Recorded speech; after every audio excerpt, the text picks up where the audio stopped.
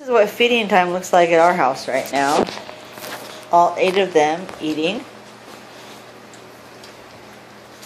with their puppy kibble soaked in puppy formula.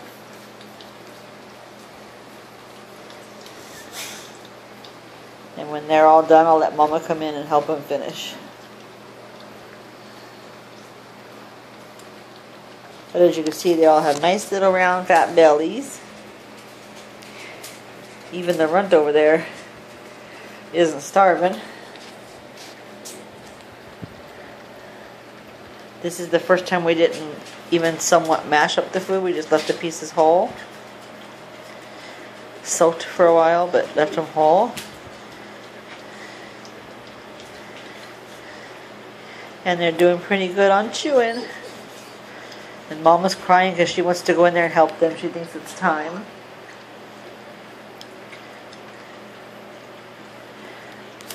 Good babies.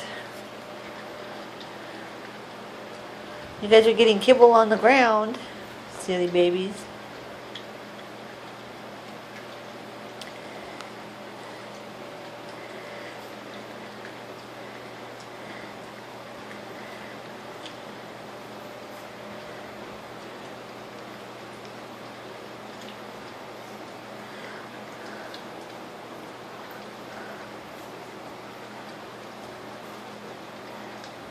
I always feed them more than enough.